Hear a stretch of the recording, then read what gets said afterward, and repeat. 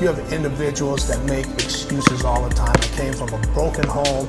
I didn't have this. I Yeah. didn't have that. And you got other individuals that take that, hey, my mom raised me or my dad raised me, and they take that as as motivation, as power to say, watch me.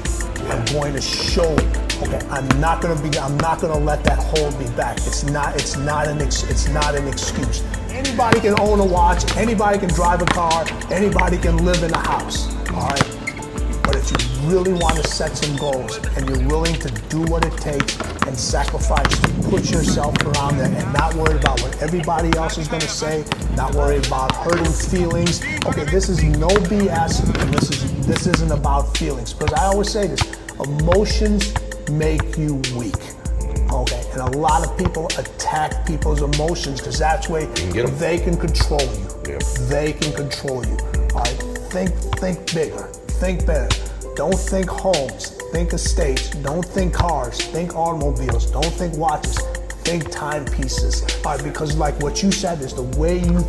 It, it all starts with a thought.